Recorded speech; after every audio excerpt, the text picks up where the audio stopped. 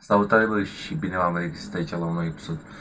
Ce ziceți mă, hai că am venit și noi aici cu un nou episod uh, pe acest canal la un nou story time. Și na, bă, în story time-ul de astăzi am zis, bă, hai să vă zic cum a fost uh, când a, tai m-a dus la un club de fotbal.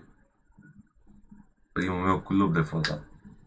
Dar fiindcă, na, eram fanatic acestui sport la vârsta aia, mă tot rugam de tata să mă dea niște bani, să mă duc acolo, să mă înscriu și eu acolo la junior, știi?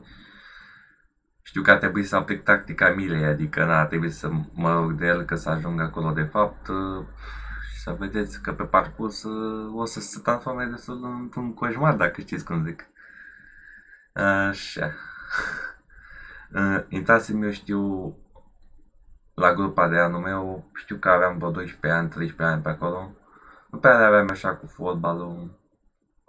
Și na, încercam și eu să-mi iasă, na, mai mă pedicam o minge, mai luam o minge moacă, chestii de astea, știi?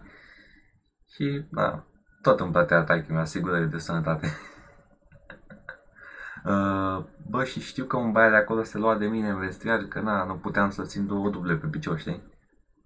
În perioada aia Bă, în perioada aia, sincer, nu eram cine știe ce mingiocar de asta, știi?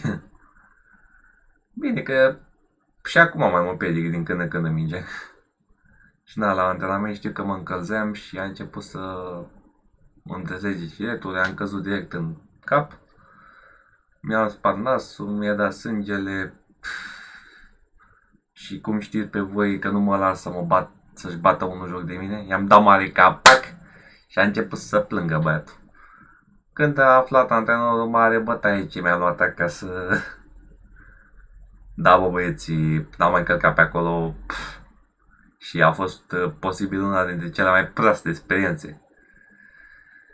Da, bă, deci story time ăsta a fost cam scurt, băieții, nu prea mai aș avea ce să vă zic în story time ăsta. Na, nu uitați să dați și voi acolo un subscribe dacă nu sunteți abonați încă pe acest canal, un like dacă v-a plăcut acest episod, un share să mă vadă și alții. Eu am fost Cosmin și v-am pupat. Ceau, bă,